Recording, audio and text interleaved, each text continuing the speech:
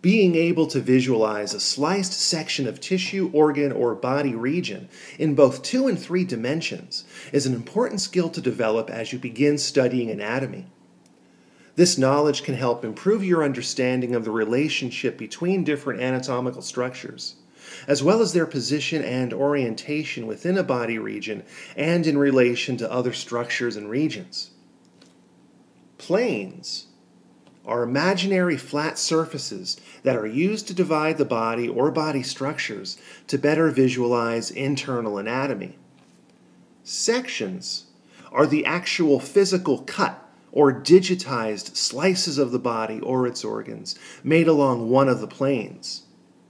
Sections are named according to the plane along which the cut is made. A sagittal plane is any vertical plane that divides the body or an organ into right and left sides.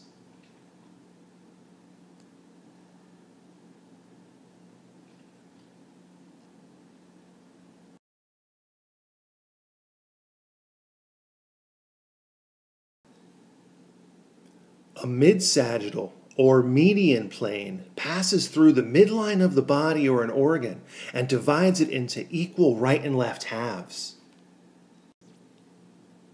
Here is a mid-sagittal plane that divides the head straight down the middle into equal right and left halves. They are mirror images of each other. We're looking at the right side of the head. A parasagittal plane divides the body or an organ into unequal right and left sides. This plane does not pass through the midline.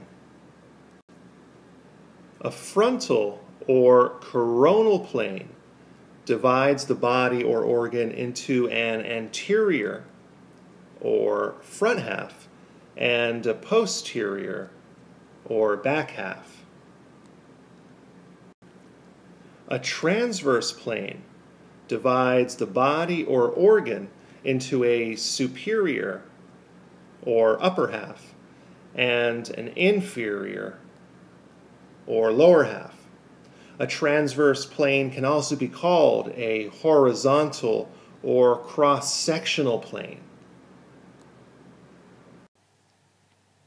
The word transverse means across and a transverse plane can divide the body or organ anywhere across its horizontal axis.